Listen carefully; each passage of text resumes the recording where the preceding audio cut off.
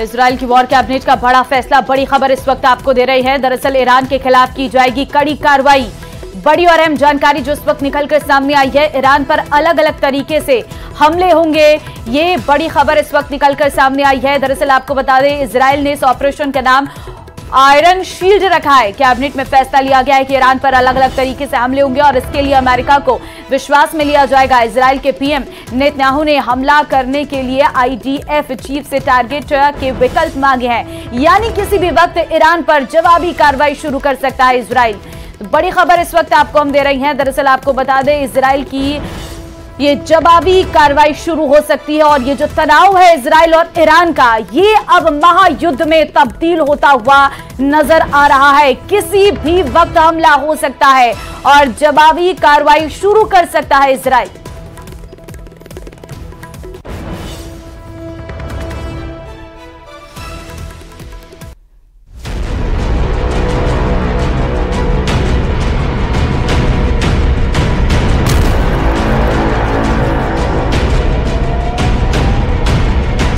Israel ने तय कर लिया है कि वो ईरान को बख्शेगा नहीं।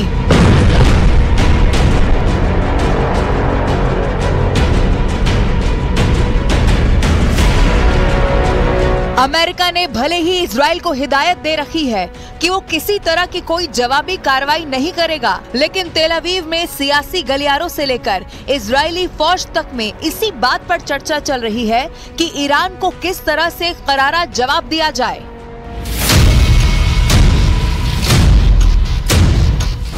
नेतन्याहू का वॉर प्लान रेडी है।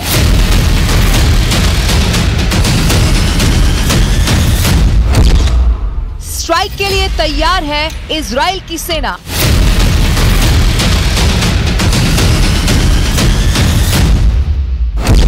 ईरान पर बरसेगी, बदले की आग।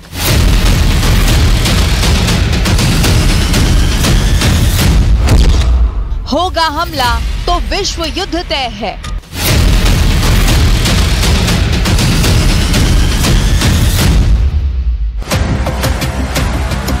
इसराइल की वॉर कैबिनेट ने बड़ा फैसला ले लिया है। ईरान पर हमला होगा और ज़रूर होगा। इसराइल ऐसे ही इसे खत्म नहीं करने वाला। ईरान ने इसराइल पर सीधा हमला कर दिया है और इसराइल की वॉर कैबिनेट ने यह फैसला कर लिया है कि उसे सबक सिखाने के लिए इसराइल भी सीधा हमला कर देगा और बहुत ही जोरदार हमला करने वाला है।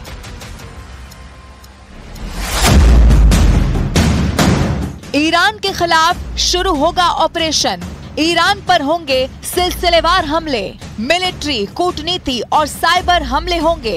इसराइल शुरू करेगा ऑपरेशन आयरन शील्ड। तेहरान में अहम ठिकाने पर हो सकता है हमला। नेतन्याहू ने आईडीएफ से हमले के लिए टारगेट मांगे। अमेरिका को भरोसे में लेकर होगा ईरान पर हमला।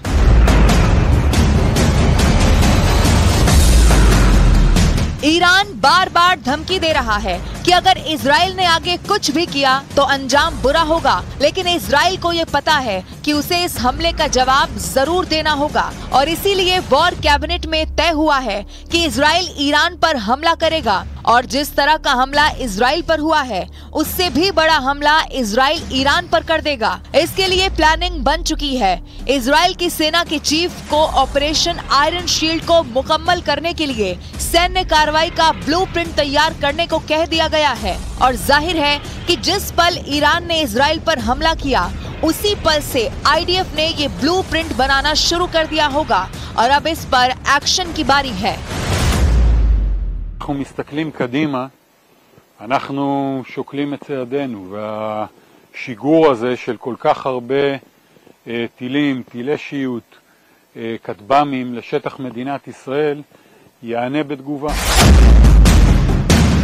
इधर इसराइल लगातार इस चीज़ पर मंथन कर रहा है कि कैसे ईरान को करारा जवाब दिया जाए और उधर ईरान में इसराइल पर हमले की कार्रवाई का जश्न मनाया जा रहा है। सोमवार को तेहरान में सैकड़ों लोगों ने रैली निकाली।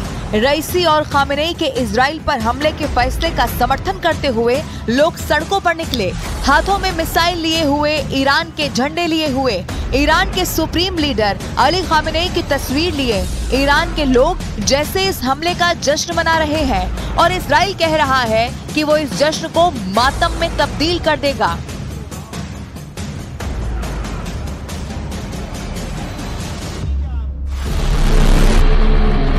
कहने को ईरान ने एक अप्रैल को दमिश्क में हुए उसके दूतावास पर हमले का बदला लेने के लिए इसराइल पर मिसाइलों की बारिश की और यहाँ तक कह रहा है कि उसका ये ऑपरेशन खत्म हो चुका है।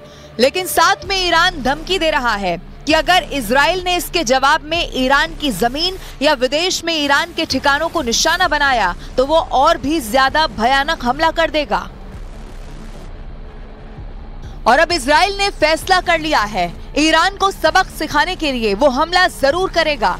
हालाँकि इसराइल के प्रधानमंत्री बेनियामिन नेतन्याहू ने अमेरिका को जवाब देते हुए कह दिया है कि ईरान से पैदा होने वाले खतरों के लिए पूरी दुनिया को साथ खड़ा होना चाहिए। इसराइल के खिलाफ ईरानी हमले को विफल करने में अमेरिका ब्रिटेन फ्रांस और अन्य के समर्थन की गहराई से सराहना करता हूँ, प्रत्यक्ष रूप से और अपने आतंकियों हमास और दूसरे संगठनों के ज़रिए ईरान आक्रमकता का पूर्ण पैमाने पर अभियान चला रहा है। जो न केवल इसराइल बल्कि पूरे मध्य पूर्व के लिए खतरा है। अंतर्राष्ट्रीय समुदाय को इस ईरानी आक्रामकता का विरोध करने के लिए एकजुट रहना चाहिए, जिससे विश्व शांति को खतरा है।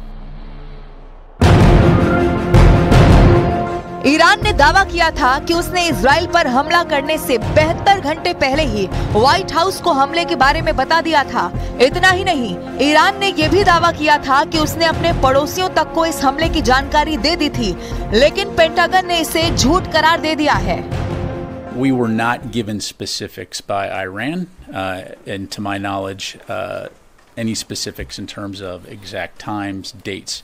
Um, you know, we obviously have a robust intelligence network uh, that provides uh, indications and warning. Uh, but to answer your specific question, no, Iran did not tell us when and where they were going to attack. Iran फिलहाल सिर्फ Israel से ही पंगा नहीं ले रहा है Iran के supreme leader खामिनेई ने अमेरिका को धमकी दे दी है कि वो इसमें ना पड़े नहीं तो उसे भी अंजाम भुगतना होगा और इसके साथ ही अमेरिका को लेकर झूठ भी बोला कि अमेरिका को हमले की जानकारी थी। ऐसे में जिस तरह से इसराइल ने ईरान को सबक सिखाने का ब्लूप्रिंट तैयार कर लिया है तो अमेरिका भी उसके साथ आ सकता है।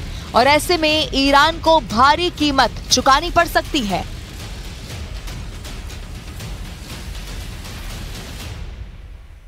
इसराइल ईरान पर हमले की तैयारी कर रहा है। प्रधानमंत्री नेतन्याहू एक्शन में है।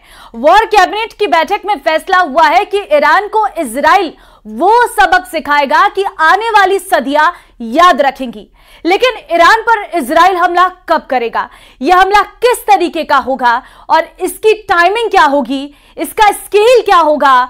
हमला ईरान के किस ठिकाने को निशाना बनाकर होगा? यह सब अब तक सीक्रेट है। और जब तक ईरान पर इसराइल मिसाल नहीं दाग देखता, बदले की आग में जलता रहेगा।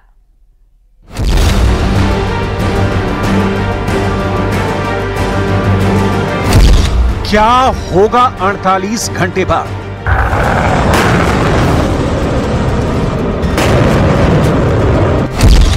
ईरान के पाँच शहरों में खून ही खून।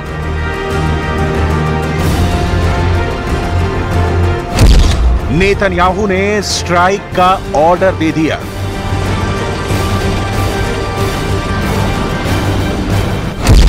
बिन अमेरिका इसराइल लड़ेगा युद्ध।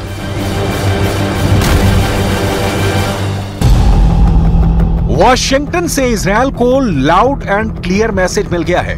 ईरान ने इसराइल पर 300 ड्रोनों से और मिसाइलों से हमला किया। लेकिन इसराइल अगर पलटवार करता है, ईरान को छठी का दूध याद दिलाता है तो इस युद्ध में अमेरिका इसराइल का साथ नहीं देगा। मतलब इसराइल को अपनी जंग खुद ही खुद के दम पर लड़नी होगी। क्या इसराइल अकेले दम पर ईरान पर आक्रमण करने और जंग जीतने में सक्षम है? इसराइल का अब तक का इतिहास अमेरिका के साथ, अमेरिका का सहयोग और अमेरिका के दम पर खड़ा है। अमेरिका इसराइल से पाँव पीछे खींचता है। ईरान के खिलाफ इसराइल का साथ नहीं देता है। तो बाद में जो होना हो, होगा। पहले तो ईरान और उसके साथी देश जैसे कि रूस और चीन इसराइल का कचूमर निकाल देंगे।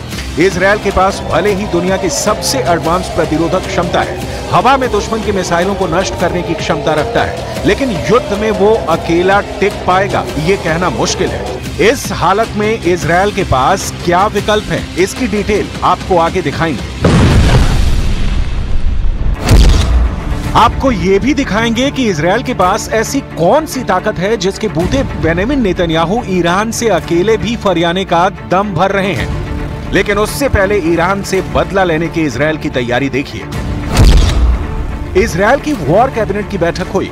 बैठक में पीएम नेतन्याहू, रक्षा मंत्री Yoav Gallant cabinet minister Benny Gantz शामिल थे।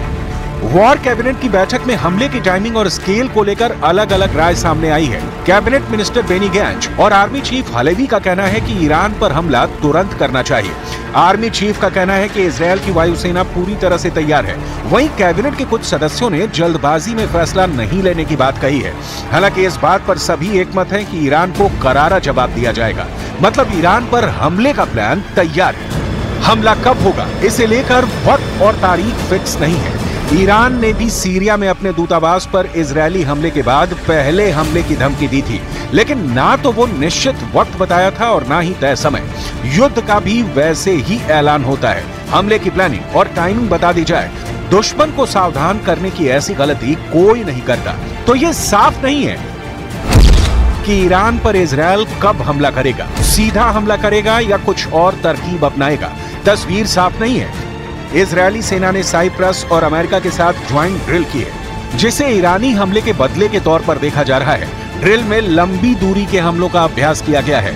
इजरायली प्रधानमंत्री बेनमिन नेतन्याहू ने भी हाल ही में तेल नौ बेस का दौरा किया है, जिसके बाद से बदले की कार्रवाई की आशंका जताई जा रही है। कहा तो यहाँ तक जा रहा है कि हमले की टाइमिंग तय नहीं है, लेकिन हमला कहाँ होगा? इसराइल ने इसका प्लान तैयार कर लिया है। एक्सपर्ट्स का मानना है कि इसराइल बदला लेने के लिए ईरान के परमाणु ठिकानों को निशाना बना सकता है। ईरान के परमाणु ठिकानों पर इसराइल के हमले का प्लान बहुत सोच विचार कर ही इसराइल ने उठाया होगा। अमेरिका और पश्चिमी देश ईरान के परमाणु बम बनाने का विरोध करते रहे हैं। ऐसी सूरत में अमेरिका ना चाहकर भी इसराइल के साथ खड़ा हो सकता है, क्योंकि एक तरह से इसराइल का ईरान पर हमला अमेरिकी हितों के मुताबिक ही होगा। इसराइल पहले भी ईरान पर हमले कर चुका है। टाइम्स ऑफ़ इसराइल की एक रिपोर्ट के मुताबिक जून 2022 में ईरान के परमाणु ठिकानों को निशाना बनाते हुए इजरायली वायुसेना के दर्जनों जेट्स ने मेडिटेरियन सी में हमले किए थे। ये हमले भी साइप्रस के सहयोग से हुए थे। 2021 में इजरायली सेना के तत्कालीन चीफ ने कहा था कि इसराइल ईरान के परमाणु ठिकानों को ध्वस्त करने की एक तैयारियाँ कर रहा है। इसके अलावा हाल ही में ईरान के साथ तनाव के बीच इसराइल उसकी न्यूक्लियर फैसिलिटी पर हवाई हमले कर चुका है। ईरान के पास परमाणु बम बनाने के लिए प्रचुर मात्रा में यूरेनियम है। युद्ध की सूरत में ईरान इसका इस्तेमाल करने से गुरेज नहीं करेगा। दूसरी ओर इसराइल भी परमाणु शक्ति संपन्न देश है। लिहाजा इसराइल की रणनीति देखती है कि पहले ईरान के परमाणु अड्डों को तबाह कर दिया जाए। उसके बाद इब्राहिम रईसी की सत्ता को तेहरान से उखाड़ दिया जाए। ईरान के पास तीन अंडरग्राउंड यूरेनियम प्लांट्स हैं। ये प्लांट्स फोर्डो, नेटंज और कॉम में हैं। इसके अलावा रमसर, तेहरान और बुनाब में रिसर्च रिएक्टर्स फैसिलिटी है और इसफान और बुशेर में यूरेनियम कन्वर्जन प्लांट है और एरिक में heavy water reaction production plant है। ईरान के हमले के बाद अमेरिकी राष्ट्रपति जो बाइडन ने इजरायली पीएम नेतन्याहू से बात की थी। इस दौरान बाइडन ने इसराइल को सुरक्षा का भरोसा दिया था। इसके साथ ही बाइडन ने यह भी कहा कि जवाबी कार्रवाई को लेकर इसराइल अभी संयम बरते लेकिन इसराइल कब तक संयम बरते जिस देश का अस्तित्व ही खतरे में पड़ जाए, ईरान जैसी ताकतें, हूथी, हमास और हिजबुल्ला के लड़ाकों को लगातार इसराइल पर हमले के लिए उकसा रही हैं। हिजबुल्ला ने तो गोलन हाइट्स पर रॉकेट दागने भी शुरू कर दिए हैं। गाजा में हमास पर इसराइल की जीत के महीनों बाद अब भी चुनौती बनी हुई है। यमन के हूथी लड़ाके लगातार इसराइल के खिलाफ रॉकेट दाग रहे हैं। मुस्लिम देश, जिन्हें इसराइल के होने मात्र पर ऐतराज है, ईरान से हाथ मिला चुके हैं। इसराइल पर हमला करके ईरान भी जता चुका है कि मध्य पूर्व एशिया में उसके वर्चस्व को चुनौती नहीं दी जा सकती। लिहाजा इसराइल का बदले की आग में जलना स्वाभाविक है, लेकिन सवाल फिर वही घूम फिर कर आ जाता है कि इसराइल अगर अकेले ही ईरान पर धावा बोल देता है तो फिर रूस, चीन जैसी ताकतें इसराइल के खिलाफ खड़ी हो जाती हैं। तो क्या होगा? इस सवाल का जवाब आपको अमेरिकी बयान में मिलेगा। I've been in close uh, communication with counterparts in the region, and we will continue to do so in the hours and days ahead. Uh, we don't seek escalation, but we'll continue to support uh, the defense of Israel and to protect our personnel in the region. America भले ही Israel को संयम बरतने की सलाह दे रहा है, ताकि मध्य पूर्व में युद्ध के हालात पैदा न हो, लेकिन अमेरिका इसराइल के युद्ध में फंसने की सूरत में उससे किनारा नहीं कर सकता। इसराइल मध्य पूर्व में अमेरिका का सबसे बड़ा सहयोगी है, और मुस्लिम देशों के बीच अमेरिका को अपना वर्चस्व कायम रखना है तो उसे इसराइल की ज़रूरत स्वाभाविक तौर पर है। और चलिए वक्त एक छोटे से ब्रेक का है, फ़ौरन हाजिर होते हैं।